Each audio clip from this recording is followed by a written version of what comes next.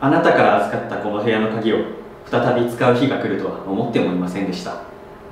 私は何かお守りのような気分であるいは私とあなたの間に確かに横たわっていた時間の証明としてこの鍵を持っていました。もしかしたらあなたも同じようなことを考えていたのかもしれません。最後にあなたを見たのはこの部屋の前です。本当にそれが最後の記憶です。当然といえば当然か。でもその日が今にも雨の降り出しそうなどんよりとした天気だったこと。ゴミを出していた近所のおばさんがいぶかしげにこっちを見ていたこと。フェンスに絡まった朝顔が咲き始めていたことは覚えていてもあなたの表情がどうしてもいつも思い出せないのです。人の記憶というのはどうにも不思議というか適当に作られているなと感じることがあります。大切な部分には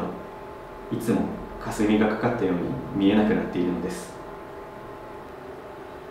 私はこの春から大学生になります。なんとか現役で希望の学校に合格できて本当に良かったです。高校に入った時から学校には内緒でアルバイトをしていたので受験期は本当に両立が大変でした。それでもたとえ実家から通える距離だったとしても大学生になったら一人暮らしがしたかったし休日に友達と遊びに行くためのお金も欲しかった。結局部活にも入らなかった私には休日に遊びに行くような友達はできなかったのだけれどお金は貯まりました。とはいうもののここ最近は小さな贅沢にはまっています。どこかおしゃれな街で服を買うとかそういうものではなく本当に些細なコンビニのレジ横に美味しそうな期間限定のチロルチョコを見つけたら買ってみるとかサイゼリアに行った時に温泉卵をつけてもらうとかあとは時折近所のパン屋さんに足を伸ばしてみたりとかなんだか食べることばっかりですね。そんな小さなことと笑われるかもしれませんが育った環境もあるのでしょうか。それらのことが私にはひどく幸せに感じるのです。話がそれてしまいましたね。そんなわけで春から大学生になる私は部屋を探していました。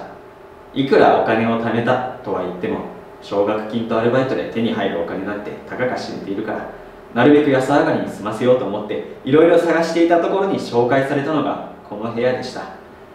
駅からもそれほど遠くないいい部屋なのに不自然なほど安くてこれじゃあまるで事故物件みたいじゃない。実際そうなのかもしれないけど。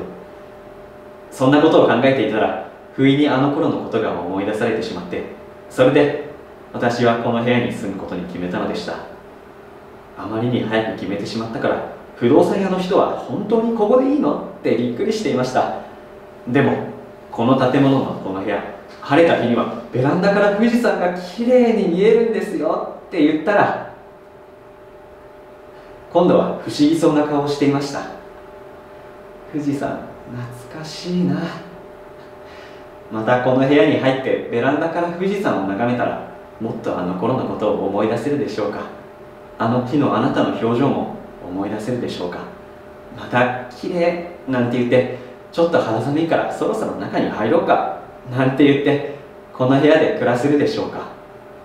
あの頃そう言ってくれたあなたが今ドアを開けたらいや久しぶりなんて言って待っていたりしないでしょうか。あなたへ私の今の幸せをこの鍵に乗せて全部お返しします。ありがとう。